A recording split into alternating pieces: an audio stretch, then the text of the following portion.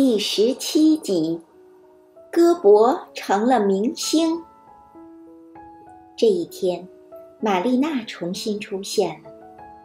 那年冬天，也就是戈博失踪的时候，她已经快长成一个大姑娘了。可从那以后，她极少露面，总是躲得远远的，独来独往。她还是那么瘦弱，看上去很小，但它既稳重又文静，比任何人都性情温厚。最近，他听喜鹊和松鸦他们说，戈伯回来了，而且有着传奇般的经历，所以就特地来看他。戈伯的母亲对他的来访又高兴又自豪。近来，他一直沉浸在幸福和骄傲中。现在，整个森林都在谈论他的儿子。儿子成了明星，这让他陶醉。他希望每个动物都承认他的胳膊是最聪明。最能干和最棒的，你觉得他怎么样，玛丽娜？他大声说：“你觉得我们戈伯怎么样？”他不等回答，便继续说道：“你还记得埃特拉太太的话吗？她说戈伯没用，就因为他在寒风中微微抖了抖。”你还记得他预言我不会在儿子身上得到快乐吗？不过，您也确实为他操了不少心。”玛丽娜答道。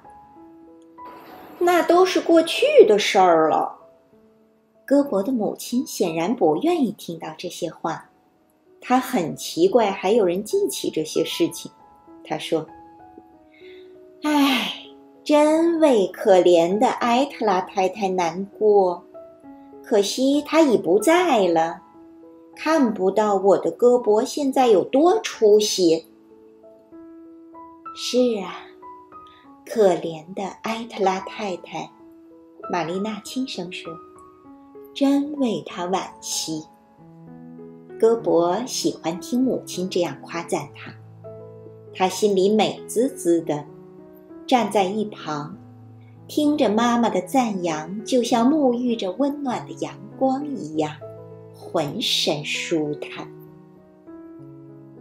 艾娜对玛丽娜说道：“连鹿王都来看戈博。”他满脸神秘，小声而高兴地说：“鹿王从来不在我们中间出现，但这次因为戈博。”他来了。他为什么说我是不幸的孩子？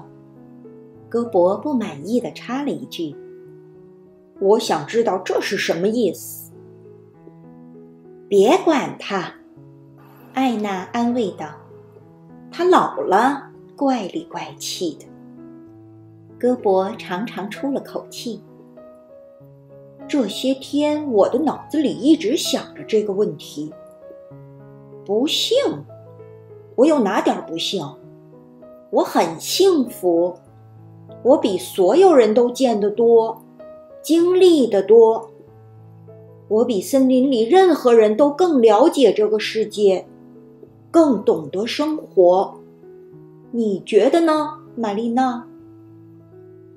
是的，玛丽娜说，谁也不能否认这一点。